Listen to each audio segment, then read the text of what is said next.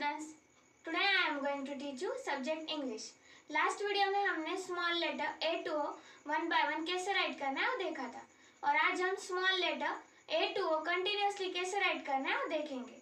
So let's start first letter is small letter A कैसे write करना है small letter A small letter A middle के two line में right करना है okay small letter A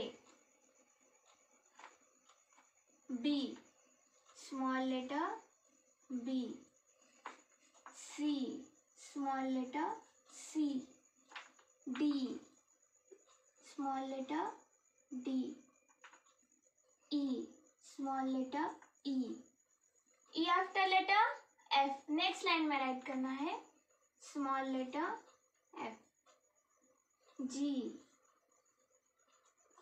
H I J. J after letter के next line में right करना है. के L M N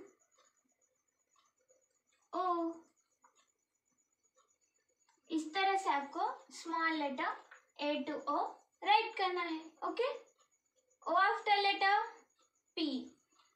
letter P okay P for pot. P O T, pot. P for pot. Pen. P E N, pen. P for pen. Pin. P I N, pin. P for pin. Okay. कैसे write करना है small letter P small letter P down side के three line में right करना है start from second blue line first dot पर pencil रखनी है और स्टैंडिंग लाइन निकालनी है फोर्थ रेड लाइन तक, ओके? फिर अप साइड जाना है, सेकंड ब्लू लाइन तक और हाफ़ सर्कल निकलना है इस तरह से।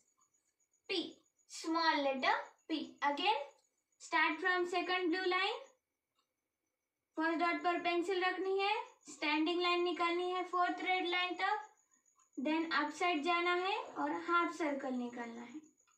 P small letter P again start from second blue line standing line then ऊपर जाना है और हाफ़ सर्कल निकालना P small letter P again start from second blue line standing line then go up side and make half circle P small letter P again start from second blue line standing line then go up and small half circle P small letter P इस तरह से आपको small letter P write करना है।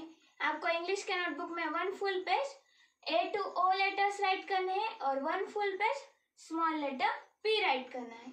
से and right बोल कर writing करनी है ओके